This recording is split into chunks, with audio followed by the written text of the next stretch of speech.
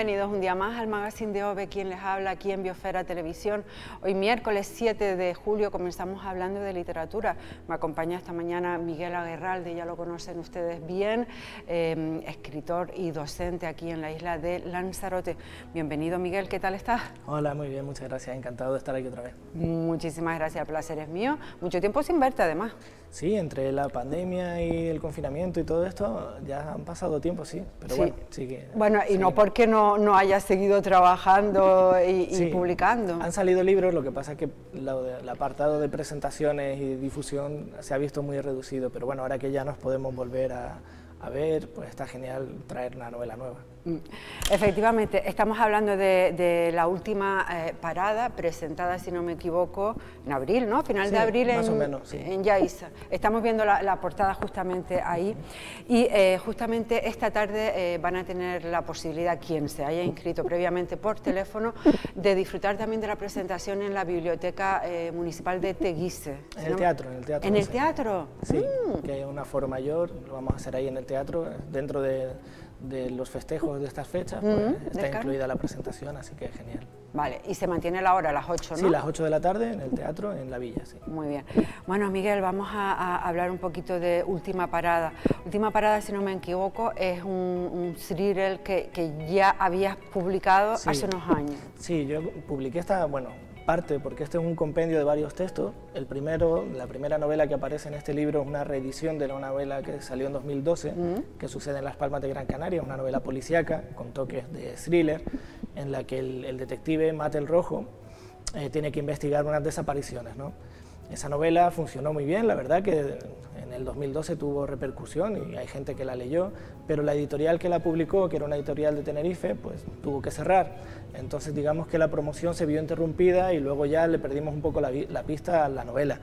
Ha pasado mucho tiempo y yo he seguido intentando sacar relatos o algún tipo de texto donde el mismo protagonista tuviera pues, algo que hacer. ¿no? Mm. Y ahora la editorial Cazador lo que propone es reunir en un solo libro todos los textos que tienen como protagonista, a Mate Rojo.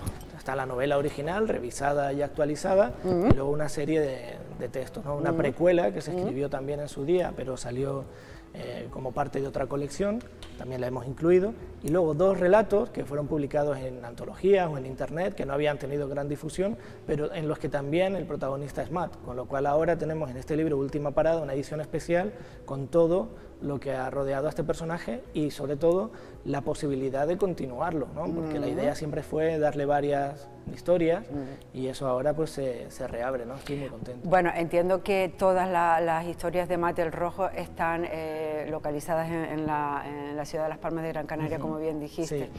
¿Tú crees que esta ciudad, que los dos conocemos bien, em, se presta a ese tipo de historias? Sí, yo he tenido esta, esta charla, siempre me parece, y, es verdad, y lo he comentado con Alexis Ravelo, con José Luis Correa, que también sitúan sus novelas policíacas en Las Palmas. ¿no?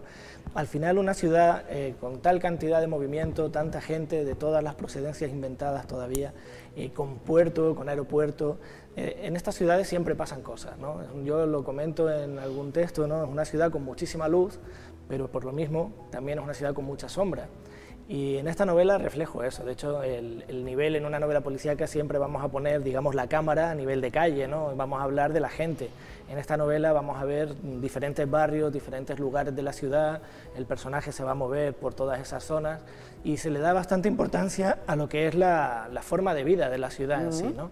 Yo cuando la escribí, en 2012 yo todavía, hacía muy poquito que había llegado a Lanzarote, pero el borrador y demás sí que estaba escrito cuando aún vivía allí y fue muy emocionante poder recorrer mi ciudad y ver en qué lugares iba a situar determinadas escenas y la ciudad es parte del, del, libro, es un protagonista más.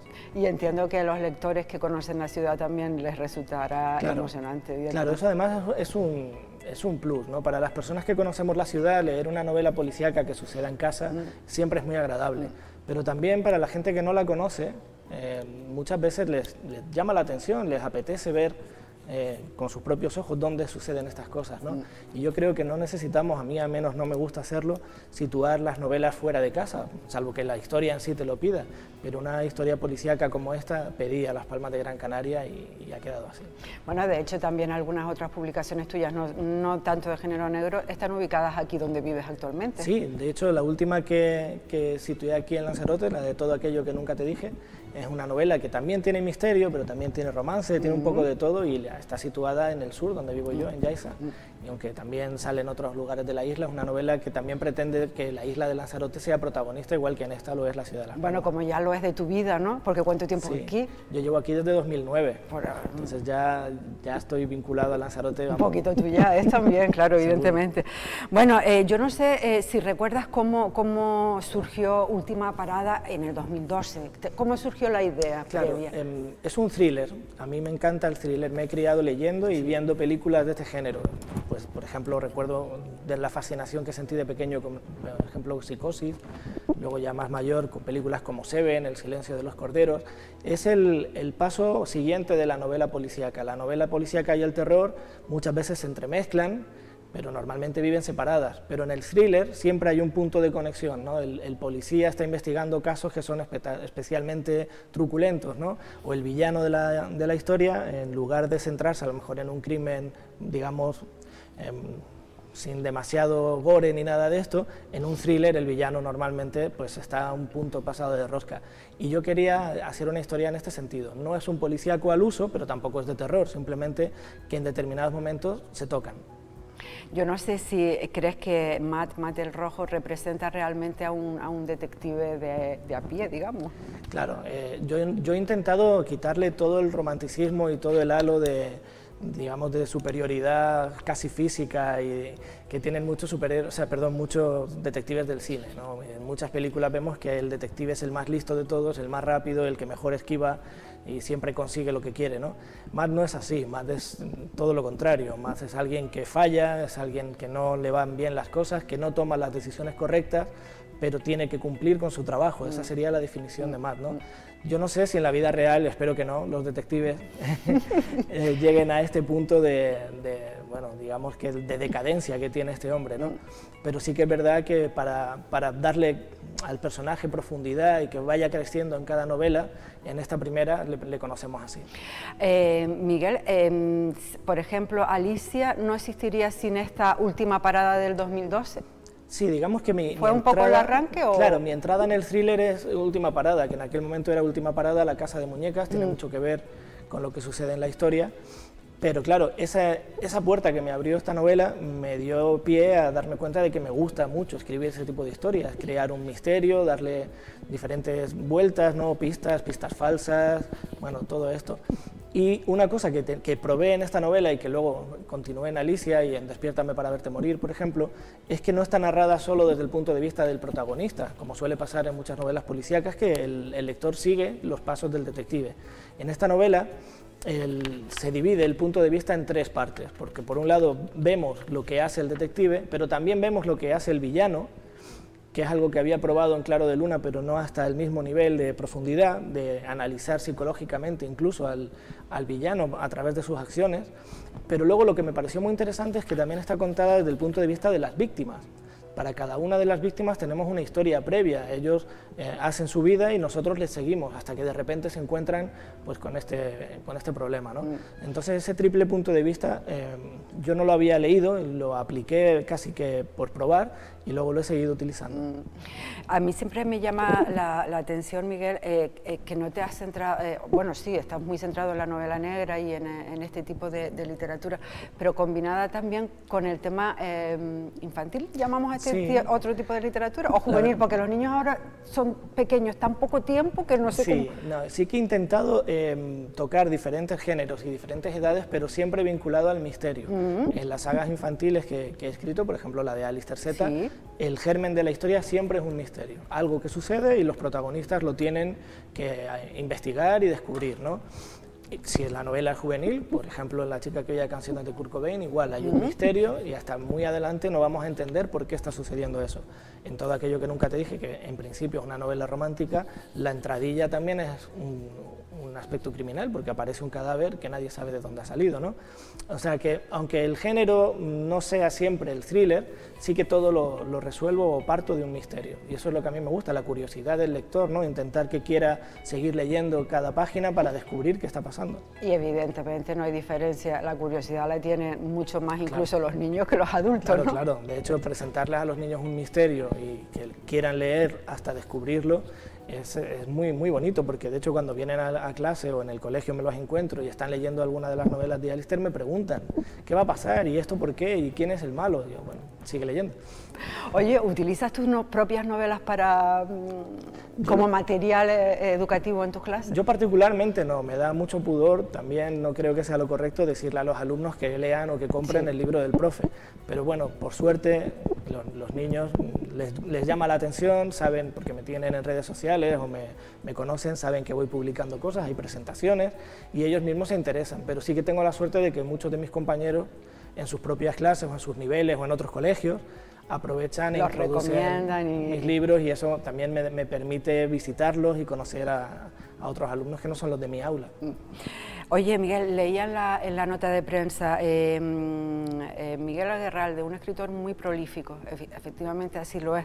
Eh, ¿no tienes, eh, ¿Te ha pasado alguna vez el, el enfrentarte al folio en blanco? Me pasa cuando voy a comenzar la historia, pero normalmente siempre tengo ya, cuando me siento a escribir, no escribo de la nada antes ya, se me ocurrió algo, tengo más o menos el camino por donde quiero ir y lo que hago es con mucha, mucha paciencia y sin mm. prisa, mm. ir anotando cosas, ¿no? ideas que se me ocurren de por dónde podría ir la historia, a dónde me gustaría llevarla, mm. quién puede ser el personaje. Cuando ya me siento delante del cuaderno o del ordenador, la historia ya tiene cierta forma, entonces no me ha pasado quedarme en blanco.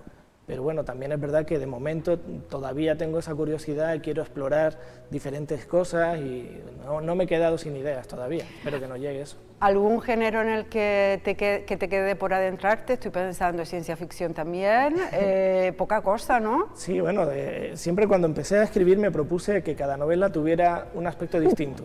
Si eran de terror, pues que cada novela tratara un tema diferente. Si era policíaco, igual y he tenido la suerte de poder hacerlo. Es decir, por ejemplo, en, Caminarán sobre la Tierra, que luego terminó derivando en una novela de terror, pero toda la primera parte es una novela histórica en busca de las reliquias de Cristóbal Colón. Y tuve que investigar y documentarme sobre aquella época. ¿no? En Los espectros de Nueva Ámsterdam, que no deja de ser un policíaco, también he tenido que investigar e indagar en cómo serán las cosas en el, en el futuro. Y realmente género como tal, yo creo que lo que he intentado es que en cada novela entre un poco de todo. No, no, me gusta ponerle etiqueta a las novelas porque luego cuando las estoy escribiendo entran y salen cosas sin, sin preocuparme de si encajan o no en el género. Mm. Bueno, eh, ya sé que siempre los comunicadores hacen la misma pregunta por los proyectos. No sé yo si al final a la gente que recibe la pregunta le gusta o no, pero enfrascado ya en, algún, en alguna nueva obra. Yo ahora en, en, otras ocasiones he tenido varias ideas, pero en este año en particular lo tengo bastante claro porque lo que toca ahora es continuar la saga de Alistair Z, que tengo el borrador de lo que será la cuarta entrega. Ahora aprovecharé para ya darle forma y, y terminarlo y aprovechando que ha vuelto Matt del Rojo a estar presente en mi vida, pues intentar, que ya ayer empecé a tomar nota y pues con mucha ilusión a continuar la historia de Matt en, una nueva entrega que bueno, veremos cuándo podría publicarse. Eh, que sepan que eh, Última Parada está disponible, aparte de en todas las librerías físicas, online también, en cualquier lado, ¿eh? lo ponen y sí, la suerte ahora con, con tanto mundo online, mm. digamos, es que casi todas las librerías tienen su propia página o tienda virtual. Mm. Entonces no hace falta comprar en los grandes monstruos mm. editoriales, sino que cualquier librería de barrio tiene la, la, novela y si no la tiene la puede pedir. ya sea visitándola o entrando en la propia página web de la librería se puede solicitar. Hombre, lo ideal es que vayamos a las librerías de por aquí. Claro, claro. Para ayudar además tengo la suerte aquí en Lanzarote me, me, apoyan y me arropan un montón nuestros compañeros libreros y, tienen mis novelas y hacemos firmas y presentaciones, así que estoy muy contento. No adelanto mucho más de la sinopsis, hay que comprarla, hay que leerla y si pueden estar esta tarde, no sé ya si está cerrado lo de la no, Aún, aún hay plazas y quien quiera puede llamar al teléfono que ha habilitado el Ayuntamiento de Teguise que yo le he colgado en las redes sociales, pero de memoria no me lo sé. Sí, yo creo que lo había puesto, pero no sé si realización me ha puesto el teléfono que, que les dejé o no. Vale, enseguida en lo todo caso, eh, lo pueden encontrar en internet sin problema y a partir de las 8 pues en el Teatro de la Villa estaremos. Mm. Eh, Miguel, sí que me, ahí está apareciendo, eh, sí que me gustaría, eh, ¿cómo incentivamos a la lectura? Son tiempos difíciles, ya no solamente para los niños, para los adultos también. Estamos viendo mucho cine en, casa, mucho... Hay un boom inmenso de plataformas de películas, de series y de todo. Pero yo creo que lo que tenemos que entender como espectadores de, todas estas plataformas es que prácticamente el 90% de lo que vemos primero ha salido de un libro, mm. o de una novela o de un guion, mm. cuando menos, ¿no? Y que realmente ahí es donde vamos a encontrar mucha más información, una historia mucho más compleja, quizá incluso con nuevos matices, ¿no? Ahora mismo acaba de publicar eh, Tarantino una novela sobre su última película. O sea, quiero decir, el libro siempre va a arropar mucho más a la película que tanto nos gusta. Pues yo creo que animar a la lectura no es otra cosa que decir prueba, prueba, ve a una librería, una librería ve a una biblioteca, pasea, lee la sinopsis de uno, de otro, del otro, porque a lo mejor el que te están recomendando pues no, es, no es para ti, pero busca porque puede que encuentres otro. Y yo lo hago mucho con los alumnos, yo a los alumnos nunca les impongo una lectura, cada uno puede traer el que quiera. Además, en los más jóvenes es bien importante también que acertar con lo que se recomienda. Por eso, lo mejor es que... Porque ahí está ya la clave para que quieran seguir. Sí, ellos tienen que probar, tienen que empezar y la suerte con todas las bibliotecas que tenemos en la isla, que pueden ir y leer primeros capítulos, llevarse varios, no solamente uno. Yo siempre defiendo mucho el trabajo de las bibliotecas, pero precisamente para fomentar la lectura. Mm. En las librerías sucede tres cuartos partes de lo mismo, pueden entrar y mirar, pasear por ahí. Yo creo que lo que tenemos que hacer es acercar la literatura al lector. Mm. La pena de que este año no hayamos podido hacer Feria del Libro en parte es esa, ¿no? que es un lugar donde los, lectores o posibles lectores, aunque simplemente sea por curiosidad, ven a todos estos autores, ven sus, obras, hablan con ellos y esa es la manera de incentivar. Bueno, aquí tenemos la suerte de, tener a, Miguel muy a mano, incluso eh, este año has tenido la oportunidad de dar eh, algún taller de escritura, de manera online, si no me equivoco. Sí, este año, claro, eh, lo probamos durante la pandemia y funcionó. Mm. Y luego hemos decidido continuar así, porque claro, al no tener la gente que desplazarse a donde yo pudiera dar el taller, la gente se conecta desde sus casas. Ahora, ahora hemos terminado, ¿no? durante el verano no, no va a haber talleres, pero volverán en, otoño y al final pues se crea un grupo de personas que van, van probando, van escribiendo las actividades que les propongo y bueno, una manera también de, introducirse en la escritura. Sin duda. Em, muy interesante siempre la conversación con Miguel, eh, le comentaba fuera de cámara hace un ratito el tema de que me encantaría ver alguna de sus obras plasmadas justamente en el cine. Eh, bueno, no sé, yo creo que son historias muy interesantes para verlas. A ver, cuando yo escribo, yo estoy contando lo que yo veo, o sea, realmente mi forma de escribir, de narrar, es ver esa película en mi cabeza y contar lo que estoy imaginando. Entonces suelen quedar obras que dicen que tienen un aspecto muy cinematográfico. A mí me encantaría, por supuesto, ya no, ya no solo por lo que me atañe a mí como autor, sino para ver a estas obras crecer y, ver cómo quedarían en pantalla, a mí me, me encantaría, pero es verdad que es un mundo muy complicado y el proceso para llegar ahí es muy difícil. Bueno, bueno, todo se andará. Ojalá. Un placer. Eh, disfruta del verano, disfruta de la presentación esta tarde y, seguiremos hablando. Muchísimas, gracias. gracias. por invitarme. Bueno, dejamos a Miguel y ahora vamos a, dar paso eh, a una llamada de teléfono. Esta mañana me va a acompañar eh, la que fue el pasado viernes pregonera de las fiestas del Carmen de Teguise, Juana María Hernández Delgado. Creo que ya la tengo disponible. Muy buenos días, Juana. Juana María. Hola, buenos días. Bueno, antes de nada, felicitarla por, por la lectura de, este pregón, que ya me han comentado que estuvo muy emotivo. Bueno, muchas gracias. Muchas gracias. ¿Se, esperaba em, esa llamada donde le, decían que si quería ser pregonera? No, para nada, para nada. La verdad es que cuando la concejala me, me lo propuso, bueno, al principio se me saltaron las lágrimas, digo, ay, pero si yo no contaba con eso, yo no, digo, yo no sé si yo estaré preparada para, para, para hacer un pegón. Pero bueno, después vine a casa, lo pensé y medité, lo consulté aquí con, con mis hijas y, y dice, pues mamá, ¿por qué no?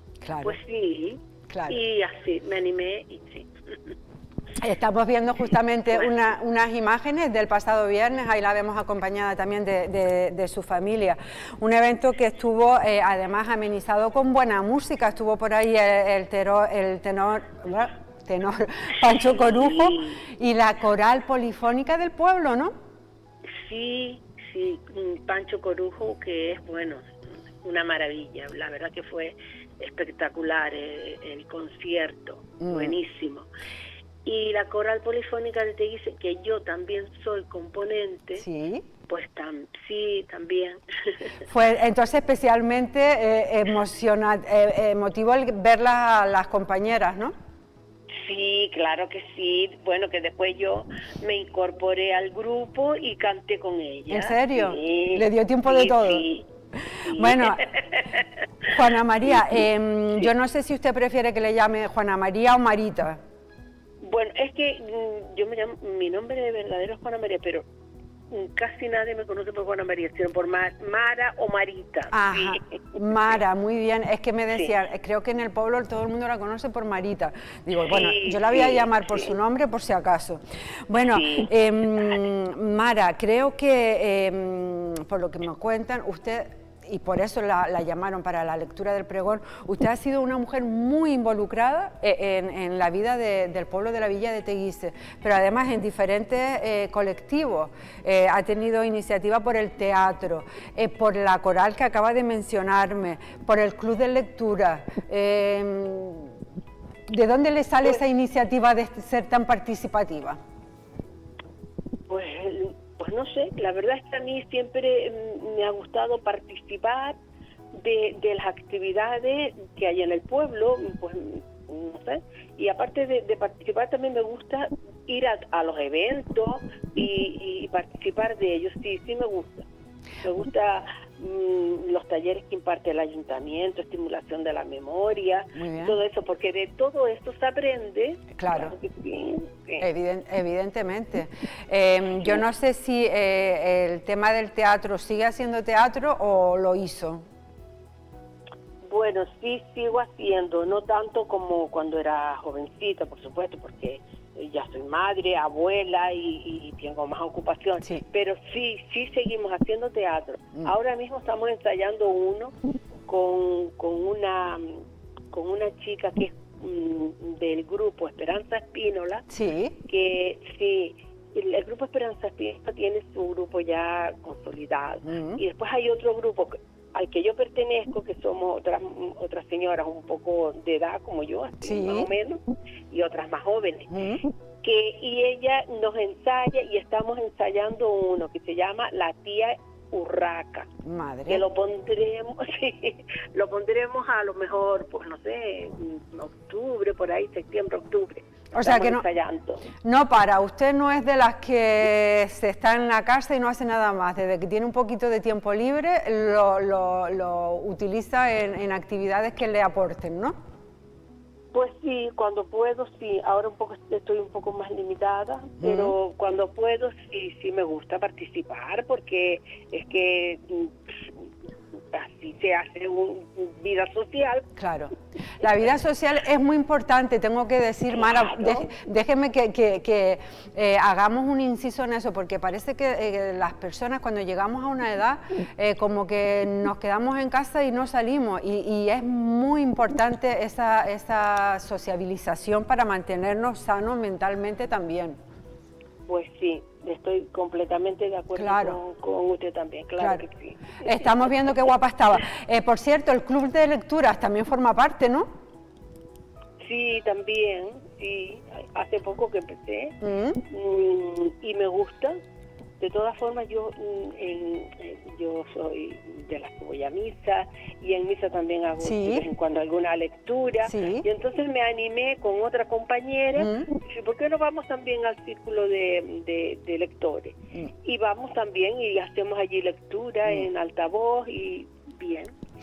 Por último, que sé que tiene mucha prisa, Mara, em, ¿cómo vivía eh, usted las fiestas del Carmen eh, de joven? ¿Cómo, ¿Cómo han cambiado? Pues, mm, pues más o menos yo creo que se, mantienen más o menos lo mismo. Pues íbamos a misas pues, siempre, que era la función, la procesión, mm, con la banda municipal de música.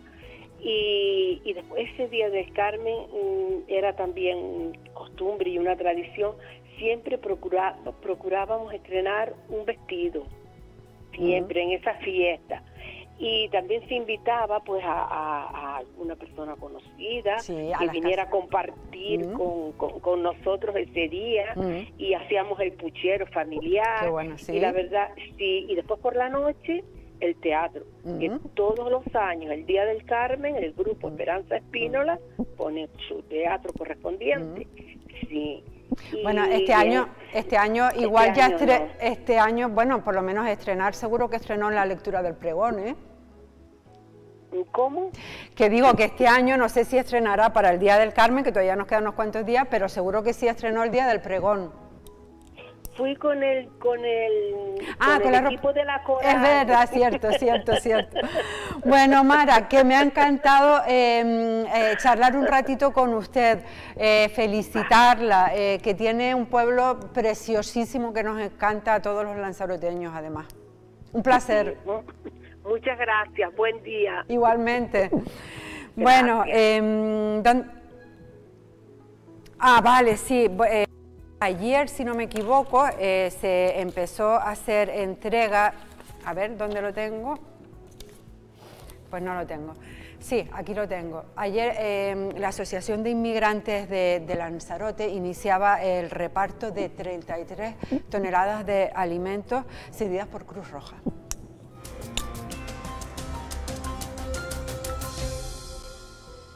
Como ves, eh, aquí es la, primera fase del 2021 de la ayuda alimentaria para las personas más desfavorecidas, que vamos recibiendo este año la tercera, por lo cual la primera dos son de la fase 2020, 2020 y está la primera fase del 2021.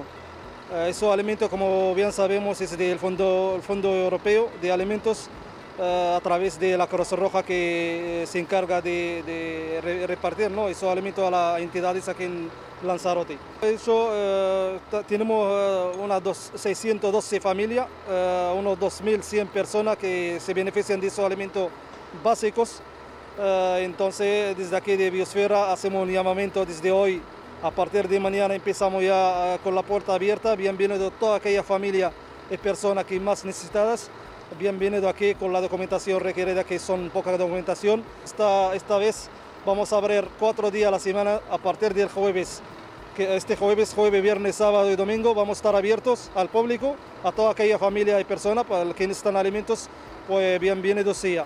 También hacemos un llamamiento a todas las entidades, todas las eh, administraciones que, que, que miren por esa persona, porque la verdad que la situación está muy complicada entonces, eh, tanta burocracia, eh, la verdad que hay gente que no, no eh, documentación requerida de asociaciones o de entidades para poder recibir esos alimentos. Nosotros colaboramos y también entendemos la parte humana y por eso estamos aquí. Vamos a abrir durante todo el mes de julio, cuatro días a la semana. Bienvenido todas aquellas personas y familias que más necesitan de esos alimentos básicos. estaremos encantados de atenderles y ayudarles.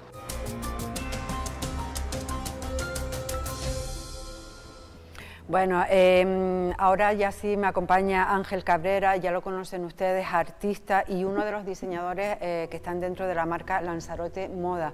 Bienvenido Ángel, ¿qué tal? Muy bien, bien hallada. Muchísimas gracias por tu presencia esta mañana. Em, le he pedido a Ángel que nos acompañara un ratito porque acaba de inaugurar un nuevo punto de venta em, en el Hotel Melia Salinas una cosa normalita, eliges tú, Ángel. Sí, sí, algo de andar por casa. Algo de andar por casa, sí, sí. Si hay que elegir, pues venga, vamos a elegir lo mejor, muy bien. No salgo de mi casa para pasar trabajo, entonces fue de aquí a... No, una muy buena oportunidad. Mm, entonces, intentando aprovecharla y nada, con la esperanza puesta en el futuro y en el despegue de todo esto. Bueno, vamos a recordar eh, que Ángel em, es artista, diseña eh, sobre, sobre diferentes tipos de telas, ahora nos va a contar, em, diferentes eh, complementos, todos pintados por él con, con, diferentes tintes, ¿no? Sí. Incluso cochinilla, ¿o no? Sí, sí. De todo un poco. Sí, sí, de todo un poco. Yo le doy a la cochinilla y también a los tintes específicos para cada tipo de tejido.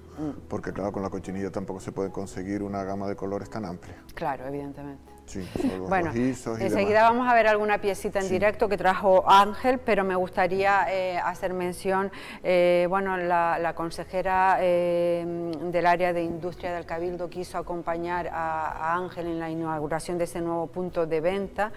Bueno, yo creo que desde el área tú me dirás si sí o si no, ¿Se intenta apoyar un poco al sector o, cómo está la cosa, Ángel? Yo me encuentro bastante apoyado. Vamos a ver, eh, los presupuestos se están enviando seguramente a asuntos sociales y demás porque es lo que toca. Pero bueno, en el tema promoción y demás, que bueno, no son grandes inversiones, pero para nosotros que somos unos pobres diablos, pues sí que, que, implica bastante pues, eh, dinero pues ellos pues no, nos promocionan y dan un poquito de vidilla, entonces pues mira, yo mm. encantadísimo y bien, colaboramos mucho y... Ahí estamos, bueno, lo acabamos de ver, eh, eso, eh, creo que es una distinción o algo también que les dieron. Oye, qué bonita la tienda, Ángel, estoy viendo que aparte de los complementos tienes también pinturas tuyas, ¿no? Claro, es que yo le doy un poco a casi todo. Sí, Entonces artista, yo tengo artista global. Lo que son cerámicas, eh, también tengo alfarería, muy poquito. Y luego lo que es la seda y las acuarelas, que fue como yo empecé. Bueno, ahí va a ser Ay, qué maravilla, de verdad. Yo mi primer entrada así en el mundo artístico fue la acuarela. Mm. Así que muy bien, y luego pues la seda. ¿Y cómo surgió el tema de, de, empezar a, a, pintar sobre, sobre diferentes tipos de tela? Pues fue a través de una clienta, yo llevaba con la galería en Teguise desde 2010 por ahí. Mm. Entonces fue una clienta, porque yo hacía cositas, pero muy poco, mm. que pasó por allí y entonces fue una especie de intercambio. Yo la enseñé a ella acuarela, o bueno, no enseñarla, pues la ayudé un poco, la guié y ella me enseñó lo de la, pintura en seda. Y mm. luego fue despegar, porque ella me encantó. Mm. Y ahí pues investigar, investigar, investigar y es como la acuarela. Hay que romper mucho y tirar mucho a la basura porque no todo sale como lo que uno quiere, pero y además porque hay que tener una calidad, no puedes tener y cosas mediocres así y demás, pero luego ya empieza uno y bueno, mm, ahí estoy copeteado.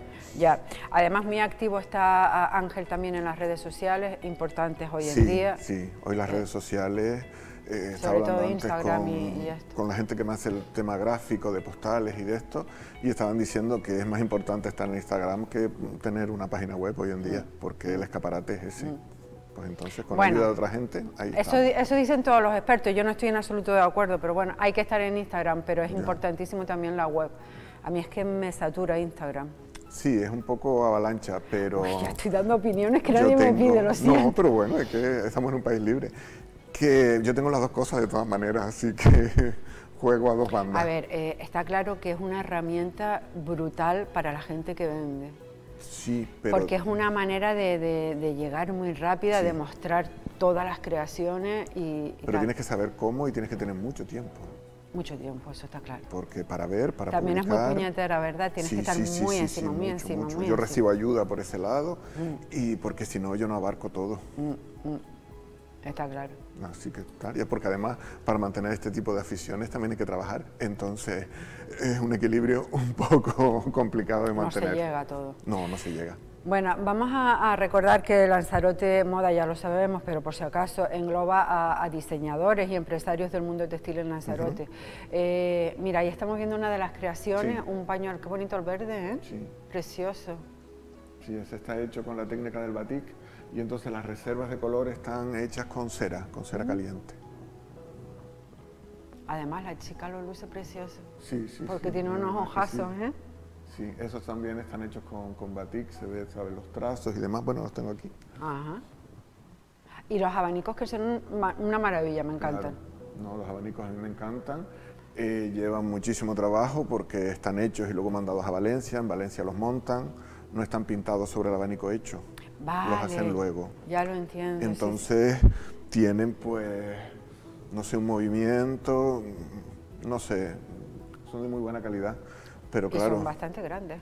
sí, sí. O por lo menos lo parecen. Grande, grande. Sí, sí. Ande no, ande, ¿no? Claro, no, bueno, yo, yo que los utilizo bastante tienen que ser no, grandecitos. Voy a, empezar, voy a empezar a hacer diferentes tamaños. Ajá. Porque hay unos pequeñitos como de bolso, Mm. hay un tal y voy a empezar también a diversificar un poco. Oye, que se me está ocurriendo que para Dígame. estas cosas que hace la gente cuando se casa, que regalan y tal, un abanico personalizado de Hombre. Ángel sería una maravilla, Pues por ejemplo. nada, ahí en el Salinas se van a tomar un cafecito y de paso me hacen una visita. Claro. Eh, el tema del, del nuevo punto de venta en, en el Melía Salina, eh, siempre en la perso- eh, personalizada la visita eh, y siempre previa inscripción, ¿no? Vamos a ver, yo por temas familiares y demás, y de momento que no puedo contratar a nadie porque estamos empezando, eh, voy cuando puedo. Evidentemente, claro. Mm. El hotel es solo para adultos y yo tengo un niño de nueve años, entonces y ahí tengo un ahí, hándicap claro. tremendo, que no lo puedo llevar de ninguna manera, no lo puedo disfrazar. Entonces, ahora, con, ahora en verano sí que estoy yendo más, pero siempre es mejor dar un toque Mm. Llamar de teléfono, teléfono. sí, o por las redes, lo que sea, y yo vivo al lado además, entonces me puedo acercar en cualquier Mm. momento o tal, pero ahora sí que estoy teniendo unos horarios de mañana y tarde Mm. un poquito más reglados, por llamarlo de alguna manera. Sí, pero vamos, que no se puede concertar una cita y ahí está Sí, sí, sí, sin para ningún atendernos. problema. Y también fue que al principio, bueno, yo llevo un mes nada más, Mm. los primeros 15 días o 20 días el hotel solo estaba abierto para clientes. Mm. Entonces, para alguien que quisiera entrar de fuera, pues tenía que avisarlo Mm. previamente. Ya no, ya la entrada es más libre porque ya estamos mejor y bueno. Bueno, las medidas COVID que ya todos nos sabemos Sí, y que sí. hay que seguir manteniendo y respetando. Hablaba de Lanzarote, de Lanzarote Moda. em, yo creo que mucho se habla, mm, se nos llena la boca de- con el tema de la diversificación de la economía, que si con, que si con los productos primarios, que si con no sé qué. Esto puede ser otra idea, eh, la industria textil puede ser otra idea para diversificar, pero claro, Hombre, claro que sí, lo único que pero tú bien sabrás que es dificilísimo. es muy difícil. O sea, pues sobre todo para ustedes, para vivir Sí, sí, sí, sí, sí. exclusivamente de esto. No, es complicado, es complicado porque eh, hay mercado, pero es un mercado oscilante, entonces mm, no te puedes tirar a la piscina directamente. Tienes que tener algo que te respalde, porque si no es complicadísimo. ¿Tienen previsto emprender algún tipo de, de- de evento? ¿Han hecho Eh, cositas ya previamente? Ya hemos hecho cositas. Ahora con lo del COVID un poco paralizado. Después de lo del COVID se reactivó un poquitín. Está el Ole Group, una empresa de, que lleva este tipo de cosas, pues nos está intentando pues, hacer un marketplace. Bueno, están haciendo cositas, pero muy poco, me imagino, por el tema de los presupuestos, que lo que decíamos antes, que están desviados, como dicen ellos, como no puede ser de otra manera, hacia lo que tiene que estar ahora. Sí, hacia lo Y ahora social. viene el verano, que también es un periodo inhábil ahí, que estamos un poco, me imagino que luego septiembre, octubre ya se reactivará otra vez.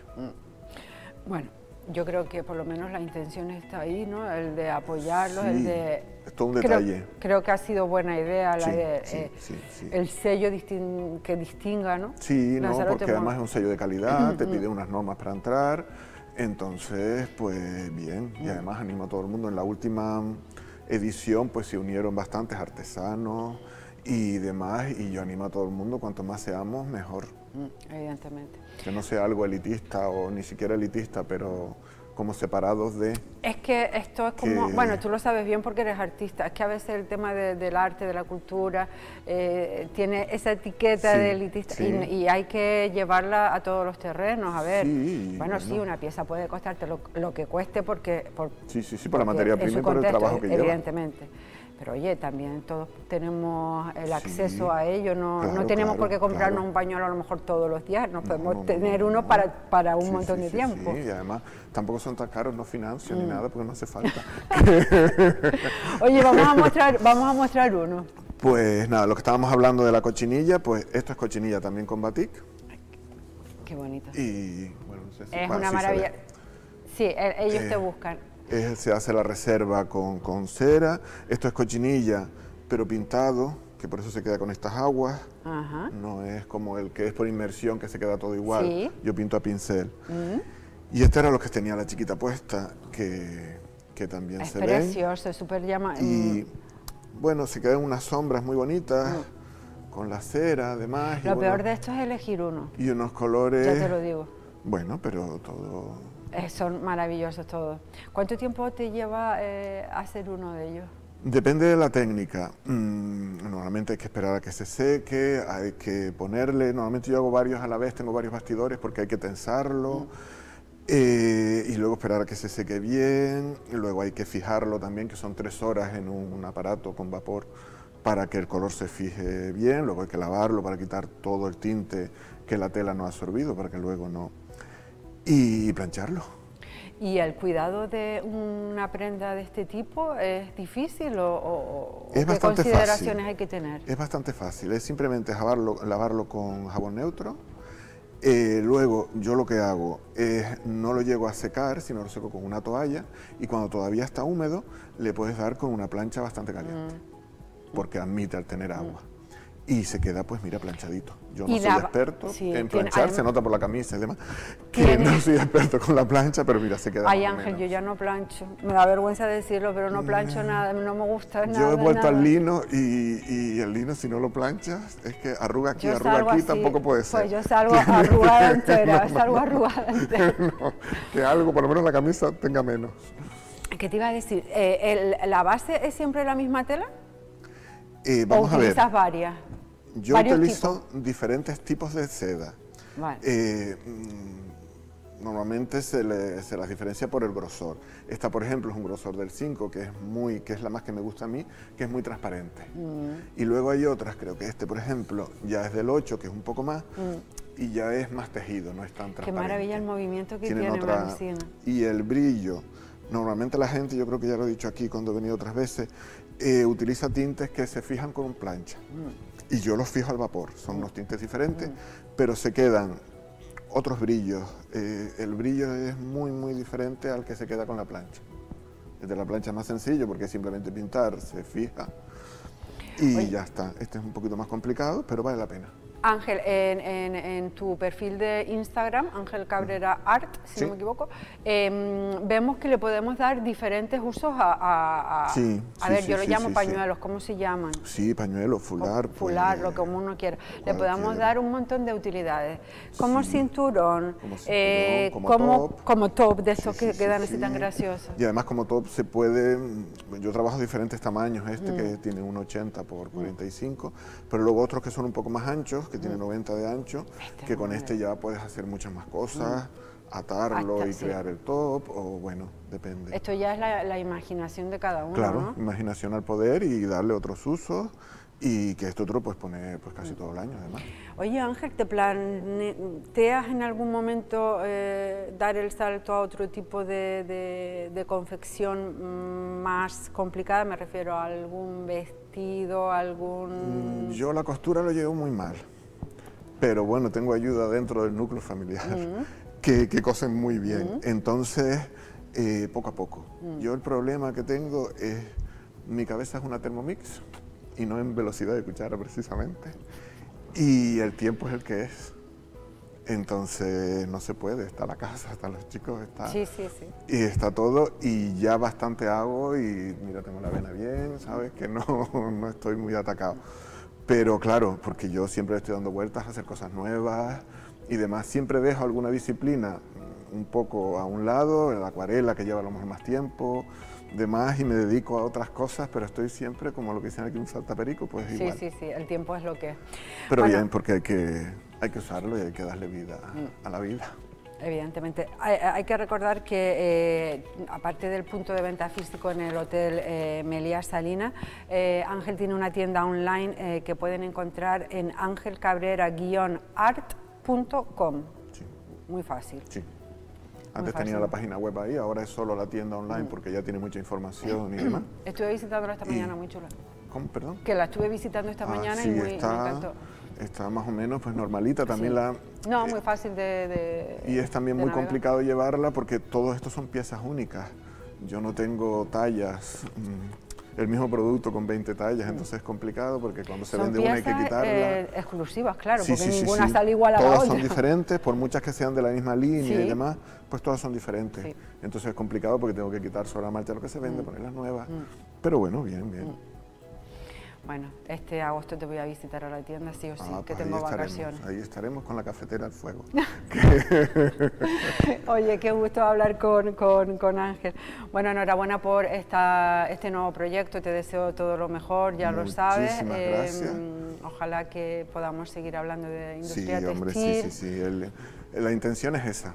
Y sobre todo también darle muchísimas gracias al Hotel Salinas que se fijó en mí y bueno, me han dado la oportunidad de este escaparate que es maravilloso. Además, mucho apoyo. entiendo que también tiene un cliente mm, sin problemas, entiendo, eh, que Sí, hombre, es un segmento de clientes que, te puede ayudar un poco. Que claro, porque esto es un producto de mucha calidad mm. y es un producto de lujo. Mm. Entonces, yo creo que está en el sitio adecuado. Además, el hotel ahora se va a abrir un poco al público un poco más, porque normalmente casi todo el mundo de aquí, los que salimos, nos íbamos a tomar un café mm, ahí de vez en mm. cuando. Tienen sala de exposiciones que abre ahora este viernes con Sonsoles Maciá o algo así, una chiquita que expone ahí. Y bueno, poco a poco ellos van a tener una apertura un poco más también pues a la sociedad local, mm. no solamente para el turismo es un sitio estupendo para visitarlo, como bien dice. Es una obra de arte desde la primera piedra hasta la última. Estar ahí alrededor de los jardines y disfrutar del cafecito que dice. y además nosotros de siempre teníamos una casa al lado, entonces eh, correteaba por ahí cuando lo estaban haciendo, ¿sabes? Así que bueno, tiene también otro vínculo, tiene otro vínculo. Qué gusto, muy bien. Bueno, Ángel, que pues seguimos hablando. Muchísimas Perfecto, gracias. nada, gracias a ti. Mis mejores deseos siempre. Muchas gracias. Bueno, em, finalizo el programa eh, felicitando a, los marciales que, hoy celebran su día y por supuesto a los vecinos de, de FEMES por la festividad de San Marcial. Con un pequeño vídeo del Ayuntamiento de Yaiza les dejo y nos vemos mañana a la una, como siempre.